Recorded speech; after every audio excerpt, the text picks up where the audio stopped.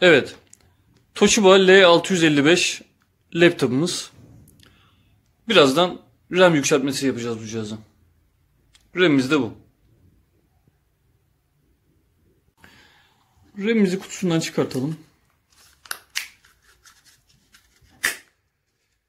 Az önce böyle çıplak elle işte elimi yıkadım, sağa sola dokundum, üzerindeki statik elektriği atmaya çalıştım.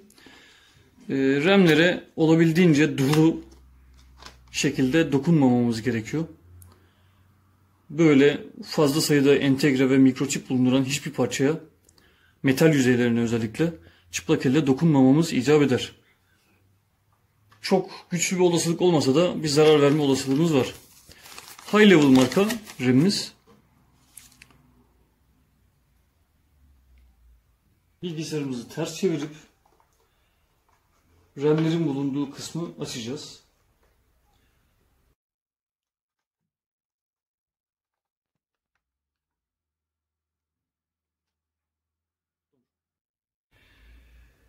Öncelikle işleme başlamadan önce pilini sökmemiz gerekiyor.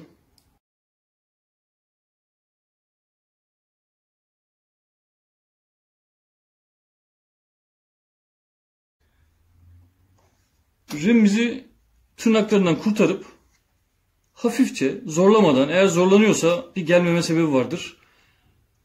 Çekiyoruz. Etikete odaklanabilirsek. Ee, üzerinden çıkan RAM bu. 2 GB DDR3 1066 MHz. Yeni aldığımız RAM'in de mutlaka aynı frekansta olması gerekir. Ve RAM yükseltmesi yaptığımızda e, bilgisayarımızın genellikle anakartın değerlerinde bu vardır. Maksimum RAM kapasitesini de bilerek bu kapasiteyi aşmadan yükseltme yapmamız icap eder. Bizim bilgisayarımızın etikete odaklanabilir miyiz? Yani L655-1DG modeli e, 8 GB RAM'e uygun. Yani maksimum 8 GB RAM takabiliyoruz. Tekrar slot'a odaklanalım. İçinde bir tane daha RAM var. 2 2 4 GB'tı.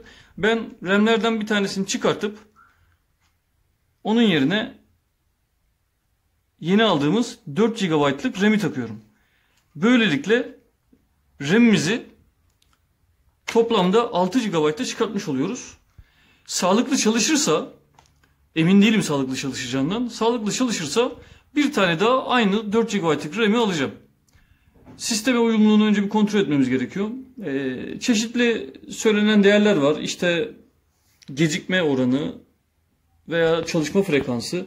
Bunların hepsi aynı olsa bile hatta RAM'ler aynı marka olsa bile sıkıntı çıkartabileceğini söyleyenler var. Şimdi öncelikle bunu deneyeceğiz. Eğer bir sıkıntı çıkmazsa işlem başarılıdır demektir. RAM'i taktıktan sonra tekrar kapağını kapatıp vidalayacağız.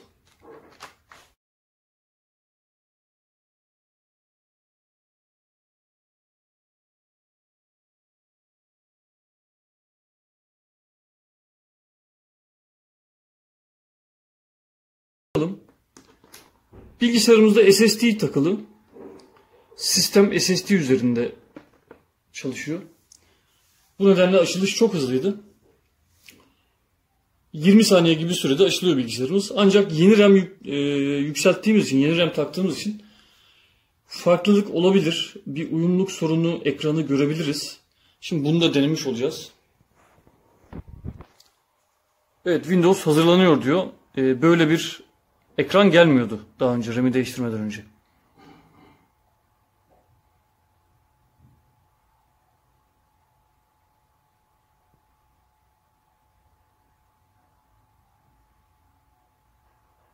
Evet, dikkat etmemiz gerekenleri ben tekrar sıralıyorum. Bilgisayarımızı açmadan ve içine dokunmadan önce mutlaka pilini çıkartıyoruz. RAM yükseltmesine karar verdiğimizde öncelikle hangi RAM'i seçeceğimize doğru karar vermemiz gerekiyor. Bilgisayarın maksimum RAM kapasitesini aşmamalıyız ve işte anakartın e, veri yolu transfer hızı veya da çalışma frekansı olan e, bizdeki 1066 MHz değerini bilmemiz gerekiyor. Farkındaysanız az önceki etiketlerden okumuşsunuzdur. Üzerinden çıkan da 1066 MHz'ti. Bizim yeni aldığımız RAM de 1066 MHz'ti. Şimdi aslında BIOS'tan önce kontrol etmek daha doğruydu ama ben şuradaki sistem ayarlarından acaba 6 GB'ı görecek mi diyordum ve evet 6 GB RAM'imiz kullanıma hazır. Allah'a bin şükür herhangi bir sorunla karşılaşmadık. Hiçbir e, sorun ekranıyla karşılaşmadık. İşlem başarılı. Aynı şekilde yapabilirsiniz. Umarız yardımcı olabilmişizdir. Herkese iyi günler.